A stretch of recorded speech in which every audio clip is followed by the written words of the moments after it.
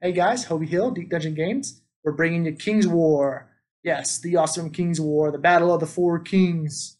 Um, yeah, so this game is super fun. Doesn't require too much. As always, I try to keep it pretty simple. Um, you can always use a, a, scratch pad if necessary. Uh, that being said, we uh, glad you were watching with watching with us or watching us, I guess. And if you want to support us, you can do so at deepdungeongames.com and pick up the PDF of Diception. Uh, if you would prefer to say buy a hardback or softback cover like me, I like the physical copy or physical prints. You can totally get one at Drive Through RPG. But if you're only on Roll20, guess what? We got you there too. So we can search us up and find all our products on Roll20. Uh, without any further ado, here's King's War. Hey guys, we're to be doing King's War here. So this is the D10, D4 card-based rule system with through Diception. Okay guys, so I'm to read the game rules to start with. Uh, every player is a king in this game, and each player rolls a D4, a D4 here, to determine their suit. So we'll go ahead and do that real quick. So I got the 3, which is the hearts. So I'm to jot that down on a little scratch piece here. Um, so if you don't know, the one is if you roll a one to determine your suit, you're a spade. You roll a two, you're a club. You roll a three, you're a heart. And you roll a four, you are a diamond. So uh, it doesn't matter which uh, suit you are. Players can be the same suit, so no big deal. Um, to continue on with the rules, the dealer or DM then rolls to put out 10 cards. As always, refer to the dice to card rules uh, at the beginning of the supplement. A player receives the point value for any card that is shown in their suit. If they are suited with one or more other kings, the points are split. So basically, the DM is rolling the cards, or essentially drawing the cards for you, and you're just hoping to get lucky. And uh, I would say I don't cover this, actually, sadly, for whatever crazy weird reason. I don't, and so that stinks. But yeah, so what I would say is that the split that I would just round up on the half and go that way. So that way, I mean, I know you're splitting it, so just go ahead and split it on the high side.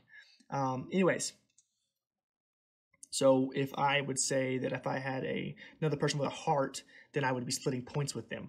So I guess uh, it does matter what suit you are. You want to be your own suit if possible.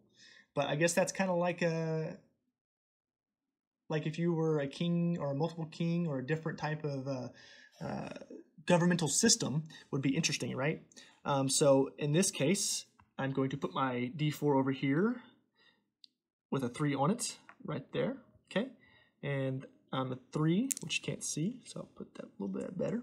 Okay, so as the, I'm going to roll the cards. So that is a 4, which is not my suit. So again, I'm just going to roll this, guys. So another 4, so not my suit. But if it was your suit, you would like it. So two, not my suit, not my points. That's three. Oh, finally got a suit. So we got a nine of uh, hearts. So I have nine points. Oh, yep. So face value and uh, oh yeah, to cover that, I'm sorry. An ace is one point, two to ten is face value. A jack is eleven, queen is twelve, and a king is twelve because no one wants a higher king than them. So I think that was my fifth roll, I believe. Sorry if I'm wrong. So a two, so not me. So that's number six a two. So it seems like the twos and the, the fours rolled quite a bit. That's seventh roll. So three. So I had a one. So this means I have a face card. Okay, so now I need to roll the d4 again. So I drew a jack of hearts because a two is a jack. A one is an ace. A two is jack. A three is a queen. And a four is a king. Okay, so I have a total of 20 points currently. And I think I have two more rolls, I believe. If I'm wrong, don't crucify me, guys. Sorry. So it's a 2, so it doesn't matter for me.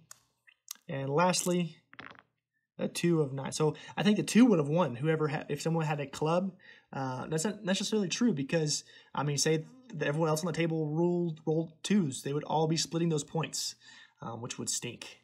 But yeah, so that's how you play King's War, guys. Pretty simple, pretty straightforward. I always like to leave you guys with the lore segment of this game and the inspiration behind it. So this game was based on the fabled War of the Four Kings. After the war, daring bards joked that the Four Kings spent more time recruiting troops than they actually did fighting the war. In the end, there were very few fatalities during the war. So it's kind of a haha, like we're just going to amass power to scare the other guys. And uh, yeah, so that's it, guys. I hope you enjoyed the video. Thank you for watching.